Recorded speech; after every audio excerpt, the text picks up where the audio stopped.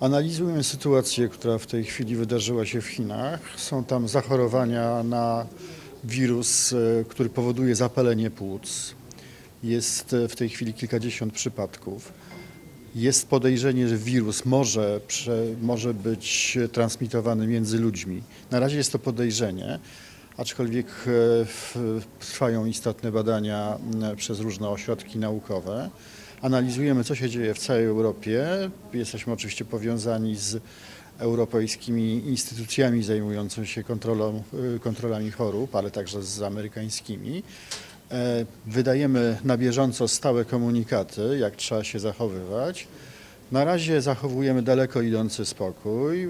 Z- Latamy do Chin, e, także w tej chwili w Chinach jest masowy e, ruch związany z chińskim Nowym Rokiem. W związku z tym liczymy się z tym, że rzeczywiście może także w Europie nastąpić pewien istotny problem związany z tą chorobą. E, Szkolimy nasze stacje graniczne w rozpoznawaniu tej choroby.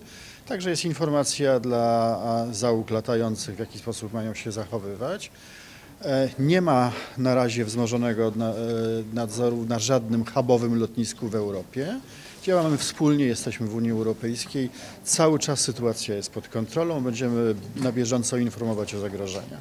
Jeżeli wirus e, przedostanie się poza Chiny, jeżeli przedostanie się do Europy, Europa będzie przygotowana na przede wszystkim rozpoznanie i później skuteczne leczenie, e, leczenie chorób wywołanych przez tego wirusa. Oczywiście odpowiednia higiena, oczywiście mycie rąk, unikanie skupisk ludzkich, to jest, e, to jest to, co może przeciwdziałać e, epidemii związanej z e, tym wirusem. Ten wirus to jest wirus, który może być groźny dla osób, które mają obniżoną odporność. I oczywiście najlepszą radą jest to, żeby takie osoby nie podróżowały w tej chwili do Chin.